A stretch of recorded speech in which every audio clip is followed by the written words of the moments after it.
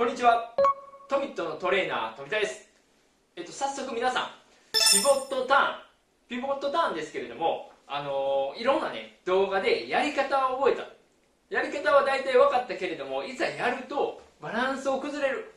いざやるとバランスが崩れるっていう方って結構多いんじゃないですかね。結構多いと思うんですよ。動きはね大体理解はしてるのになぜかうまくできない。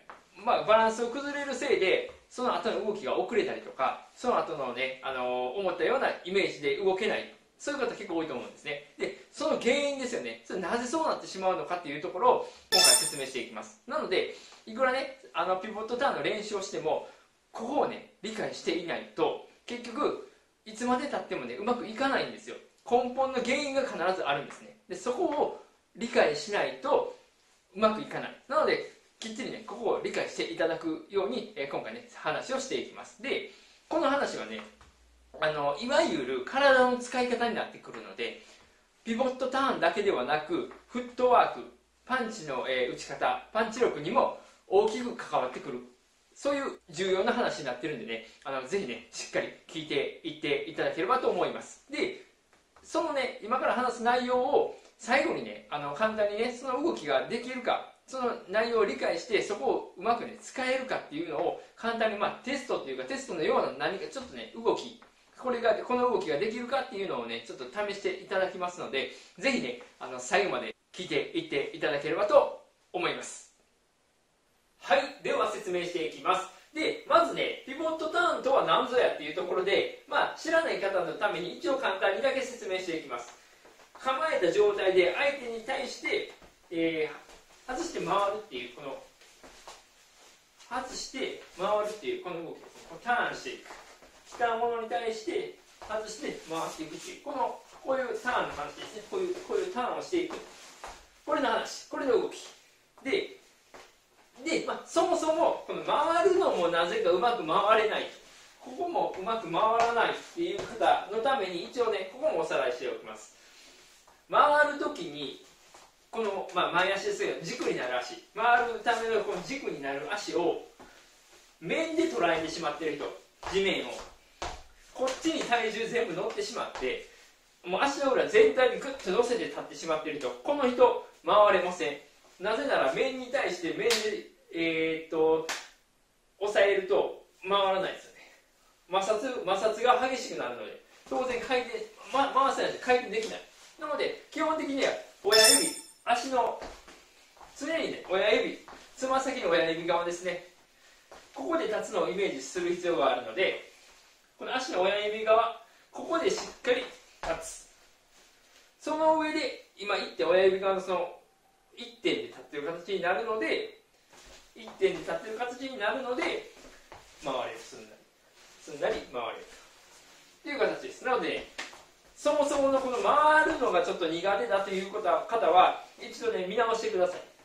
面地面に対して足の裏全体の面でグッとグッと踏み込んでしまっている可能性もあります。一応まあそこはね見直してもらってここにまあ基本のところなので。でまあ本題ですよね。バランスを崩してしまう。外して回った時にこうバランスを崩してしまう。これはなぜか。ここを説明していきます。でこれは他の動き。当然パンチ。相手を追う時についついバランスを崩してしまう。フットワークの時もついついついついバランスを崩したりとか、まあ、そのコンビネーションの時もついついバランスを崩してしまう。こういう方、えー、とそもそものところを、えー理解してもらう必要があります。でそれをねこれを見ていただきましょうか。これあのこれちょっと人形を作ってみたんですけれどもこれ腕ね。まあまあ見てもらえれば分かるかな。こんな感じ。で基本的にねボクシングの動き。まあこれでひょっとしたら他のスポーツもそうだと思うんですけれども重要なのはここ。体。体幹の部分。こいつで動いていく必要があります。で結構皆さんねパンチを打つ時は腕。フットワークは足。で今の、えー、とヘッドスリップとかからのこのヘッドスリップからのターンですね。ピボットターン。これもついついこのね頭。頭でやってしまう。そういう方が結構多い。でこれをしてしまうと、えーバランスが崩れる。まあこれ一応見てもらいましょうか。これあこれね頭一応離れるようにしたんですけどこれねいや分断するようにね頭を動かしてしまうと足がこうある中で頭を動かしてしまう。分かりますか？こういう状態になります。この状態で回すとこの状態なのでこのね安定せずに全てがバラバラに動くんですよ。なのでバランスが崩れるんです。こういう状態なので全てがついてこない。一連で。もう全部がバラバラして動くんで。なので頭に体がすべいや足手全てが頭で振り回される形になるんです。頭にこれ体が全部振り回される形になる。頭を軸で動かそうとするので全てが振り回される形になっていく。なのでバランスが取れない。でじゃあね何をしないといけないのかというとちょっと待ってくださいね。ちょっと合体させる。はい。でじゃあ何をしないといけないのかというと頭を動かしてそこから回ろう頭と足を動かしてそこから回ろうとするのではなく体体幹。体幹の部分で体を移動させる、まあ、当然これあのピボットターンの時足出すんですけれども体幹で移動させることによって全てが一連でついてきます。わかりますかね？こいつを動かす限りぶれないんです。何も。手も足も後から勝手についてくる。体を動かす。足と頭をこう動かすんではなくて体を動かす。すると勝手に頭も足もついてきます。そしてこのままこのまま回っていくだけ。このままこいつを動かしてこのまま回るだけ。すると何もぶれることはないです。体幹がそのままあるんで体を動かして回るだけ。こいつとこいつをやるとこれとこれの軸でぶれるんです。体幹を動かす。体。ここを動かして。そしてさっきのつま先ですね。いってこれ面でいくとまた回らないんでこれをしっかり手つま先親指でしっかり押さえてそれを軸にまあするとブレることはない。バランスも崩れない。これ逆も一緒ですね。入った時に頭と足をこうやるんじゃなくて体体幹。体を前に移動させる。で回る。するとブレることはない。これはピボットターンの時は今そういうことです。それをここをね意識する。ここを動かすことを意識する。その上で回っていく。すると確実にブレることはない。でこれはねここを意識して動かす限りどんだけ逆にねどんだけバランスを崩そうがこの状態からでも戻ってこれます。どんな形でもこいつを動かしてる限り回ってこれます。で僕のヘッドスリップであったりとかダッキング系も全てここを動かしています。これをねどうしてもね頭をねやろうとしてしまうみんな。すると全てバラバラ。当然頭を動かすことに意識して移動しようとすると足バラバラついてきてないんでわからないんですよ。こうタイミングも何もずれたりとかしてわからない。でうまくできない。それをしっかりこの体幹ですね体をでまた体をこっちに動かそうとすると勝手に足ついてくる。そういうことです。なのでフットワークもそう。足を動かそうとするとバタバタする。でもこれを体を動かしていく。体を動かしていく。体するとねもう体を動かしていくだけなんでどんな形になろうが触れること当然この状態からなんでいくらでもパンチも出せる。どんな状態で動こうがいつでもパンチは出せるこれ一緒。これを体を動かす限りいつでもこんなバランスになろうが体を動かしている限りパンチはいくらでも出せる。これね体の軸でこう振っていくんで。足もついてくる。でもこれを足だけでやってしまうともう体ほら上半身ついてこないです。バラバラなんで。上半身グラグラする。もう足で動かそうとすると上半身バラバラになって当然手もそう手だけで打とうとすると足がついてこない。足がついてこない。結構あるはずなんです。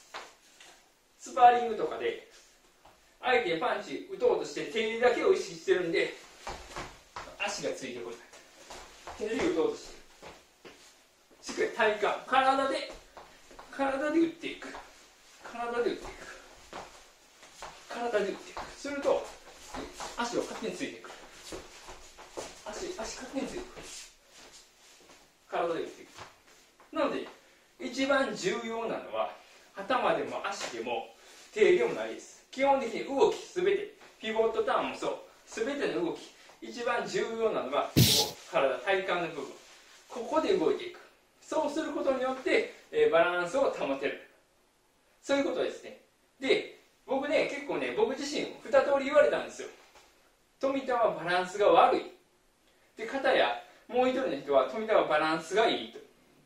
全く同じ動きをしてるんですけど人によって評価が違う。でそれは何かというとこのまま微動だに微動だにしないことがバランスがいいっていう考えの人とどんな状況からでもいわゆる復元ができるどんな状態からでもそのまままた動いてしまう。これをこういう状態になろうが打った時にこうなろうがこのままディフェンスつなげてこうなろうこのまま打ててしまう。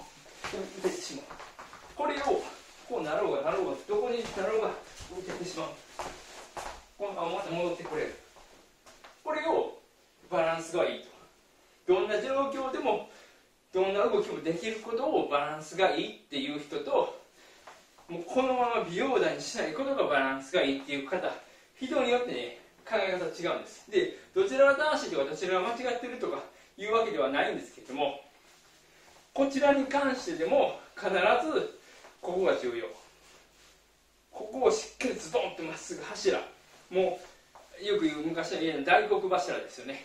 この柱をしっかりドソンとしている限り、まあ、家は潰れることがないっていうのと一緒でしっかりこの柱をしてしっかりこういる限りもうしっかりしたパンチが打っていける。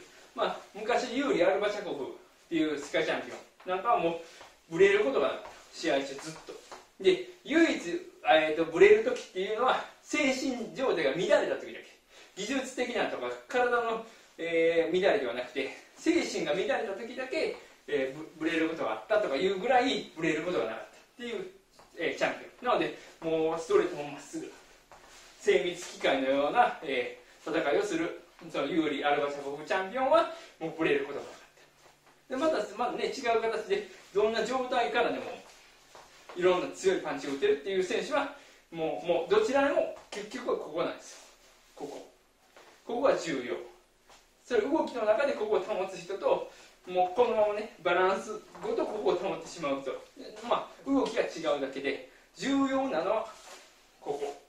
なので皆さんもねここをね、あのー、イメージして体体をイメージしてここの軸ここの軸をイメージして動くようにしてもらえれば、えーと、バランスの保てたねあのいい動きが、えー、全てね体が連動した動きができるようになるので、えー、そこをね意識してイメージして、えー、練習してもらえればと思います。でこの後ねちょっとねそれをね試すためまあそう言われてもわからないと思うんでいやここって言われてもって思うところがあるんで、えーね、それちょっとだけね、えー、簡単な動きを、えー、やってもらって実際それができるかどうかっていうのをこの後試してもらおうと思います。はい。それでは今からやる動きを皆さんにもやってもらって体幹を使うイメージそちらをつけてもらいたいと思います。そして実際に体幹を使えているのかどうか体幹を使って動くことができるのかどうかこちらをね今からする動きができるかどうかで、え試していきたいと思います。それではやっていきます。まずこういう形こういう形で丸くなってもらって寝転んでもらいます。でこのまま横に倒れます。そしてこのまま起き上がる。このまま倒れてこのまま起き上がる。こちらをやっていく。倒れて起き上がる。こちらの動きですね。これがねいわゆる体幹を使って動いていく形になります、まあ、ある程度ねあの多少勢いつけたりとかやっても多少は、ね、大丈夫なんですけれども思いっきりいわゆる丸まってる段階でそこまで大きなあの勢いでつけれないので今の感じで動いてください。するともうここでここでこう回っていってるだけの形になるので実際体幹を使われている限り今の形ができるはずです。でほとんどの方できるとは思うんですけれどももしねできない方はここをねうまく使えてないので体幹を使って体を動かすということができていないので一度ねこれを練習してもらってこの感覚を身につけてもらえればと思います。はいということで今の動きをしてもらうことによってここですねここでこう動いていくっていう感覚が身につきやすいのでイメージしやすいので今の動きしてもらってイメージつけてもらえれば、えー、練習しやすいんじゃないかと思います。なので当然ピボットターンもここで。ここここで動いていく。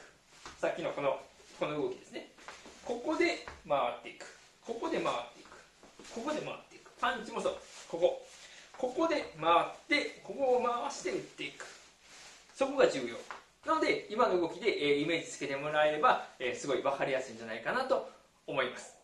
で僕の動画一応ねこういう形で他ではねないような、まあ、簡単にインターネットの検索で出てくるような、えー、内容のお話は一切しません。っていうのもやっぱりねもう普通の簡単な内容じゃなくてもう僕しか言えないような内容をお話しさせていただいてそれを知ってもらってねよりボクシングってあそんなこともあるんだそういうことになってるんだっていうことをね深いところまで知ってもらってよりボクシングのことを好きになってもらいたい。